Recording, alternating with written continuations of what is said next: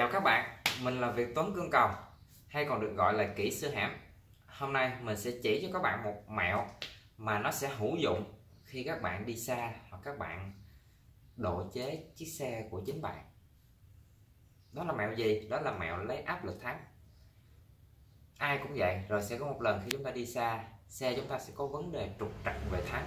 Chẳng hạn như đang chạy bóp thắng không ăn hay là như thế nào đó thì vấn đề có thể nó sẽ ở cái nguyên nhân đó chính là do trong dầu tháng nó còn không khí. Hay nó bị lọt không khí vào trong đường dây. Nó gây ra mất áp lực tháng.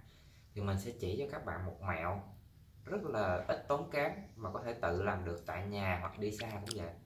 Đây, đầu tiên chúng ta sẽ cần tới mặt đồ nghề. Đầu tiên chúng ta sẽ cần một đoạn dây. Dây này mình mua ngoài tiệm vật liệu xây dựng bán 5 ngàn một mét. Mình mua thẳng 20 ngàn là 4 mét. Mua chi nhiều vậy? Mình mua có thể mình đang đi, mình thiếu xăng hay gì đó, mình hút bật xe, từ xe khác, lấy xăng qua cho mình. Uh-huh.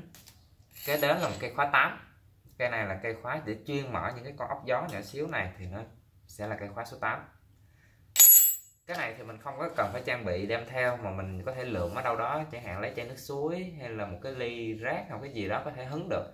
Nhiệm vụ để làm cái gì? Để hứng dầu thắng, trải từ trong heo hay trong hệ thống thắng ra, mình hứng lại, để khi đó mình lấy cái đó mình đổ ngược trở lại vào bình dầu, để nó không lãng phí. Và thứ nữa là nó sẽ không gây ảnh hưởng tới môi trường, tại vì dầu thắng rất là độc.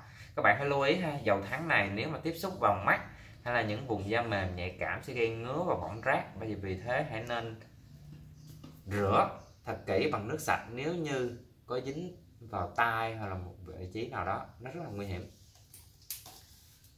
đấy thì cách lấy áp lực thắng như thế nào? Thì đầu tiên chúng ta sẽ lấy cái đoạn dây. Chúng ta sẽ cắt một đoạn khoảng chừng cỡ 15 phân. Rồi chúng ta nhét vào cái con ốc xả gió. Thì với cái xe nhỏ ở trên cùm thắng nó không có con ốc xả gió cái hệ thống thắng nó đơn giản hơn. Thì với xe mô tô hoặc là những cái cùm đồ chơi đó, nó sẽ có con ốc xả gió trên cả cùm thắng và lẫn dưới heo.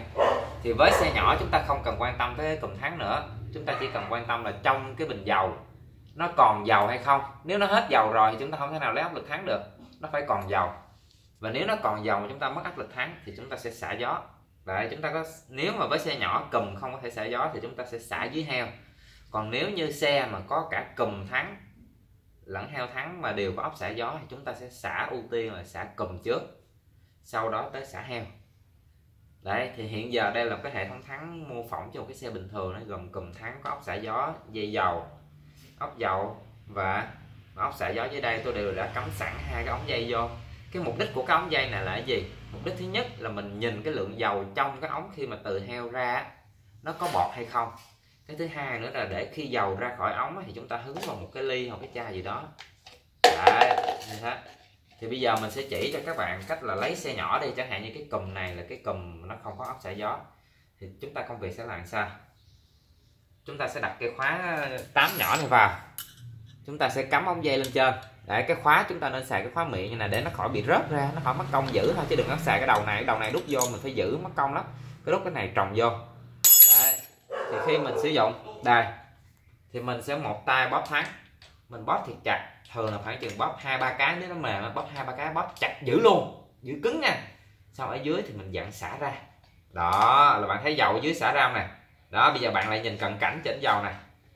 À, trên cái dầu tháng của tôi nó vẫn còn những cái bọt li ti có nghĩa là nó vẫn còn chưa sạch hoàn toàn trong đây nó vẫn còn bọt. Thì chúng ta sẽ xả làm sao mà khi cái dầu nó phòi ra khỏi ống đây nó sẽ không còn bọt nữa. Thì lúc đó có nghĩa là chúng ta đã lấy chuẩn. Đây sau khi tôi đã siết lại thì tôi vẫn giữ tay tháng và bây giờ tôi thả ra. Đây bây giờ các bạn nhìn xa ra một lần nữa ha. Đây nguyên tắc đầu tiên chúng ta sẽ là bóp hai ba cái gì đó, siết giữ. Xong rồi, xả ở dưới. Sau đó siết lại, thả tay ra.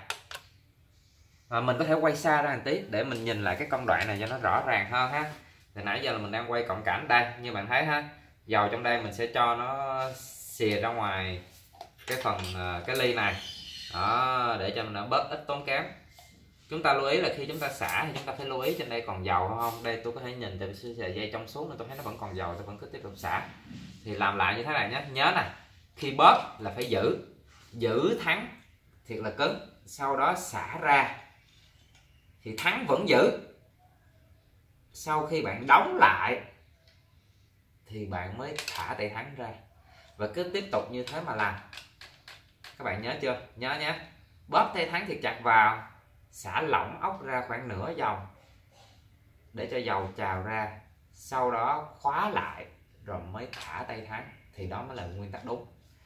Vừa rồi là tôi đã xả phía dưới con heo. Thì bây giờ tôi sẽ hướng dẫn luôn cho các bạn cách xả thêm phía trên đầu tay thắng ở trên đầu tay thắng thì nó cũng y vậy à. Nó cũng có con ốc gió, nó cũng xài cây khóa. Rồi mình cũng lấy ống dây mình cắm vô.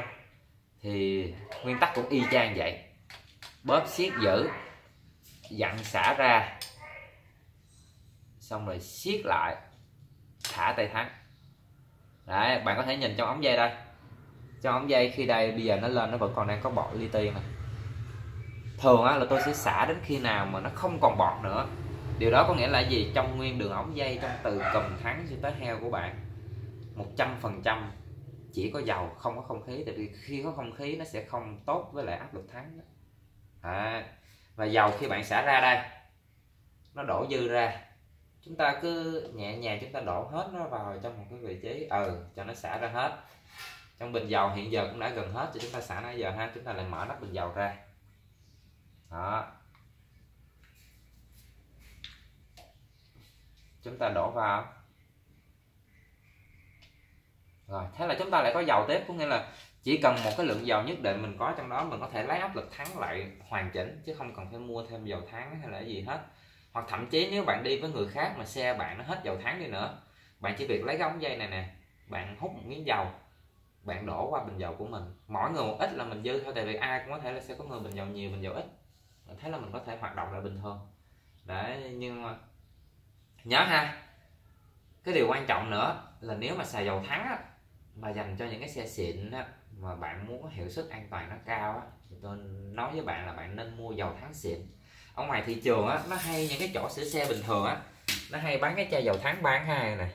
Cái chai dầu này nó dở lắm nó không có nhiêu tiền á mà nó cả lít nhưng mà nó dở tệ. Ở ngoài gớm lắm tao không bao giờ sẽ xài á. Thường á là mình sẽ xài là những cái hãng lớn cao cấp như là Motul mình thích xài Motul hơn.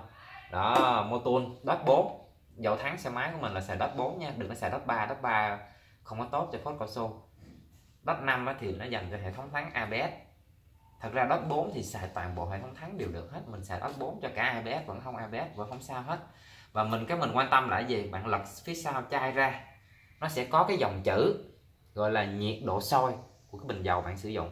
Thì cái nhiệt độ sôi của dầu càng cao điều đó chứng tỏ là cái gì? Khi bạn thắng cái sức nóng đó nó sẽ không làm sôi dầu mà khi mà nó sôi dầu á, thì nó sẽ bị bó thắng bởi vì những cái bạn mà hay chạy xe mô tô hay gì mà xài dầu tháng bán hai này thì đừng nói vì sao mà đang chạy xa hay là đi sao mà nó bị bó tháng. Đó là do bạn xài dầu tháng dởm quá, nó không có chịu được.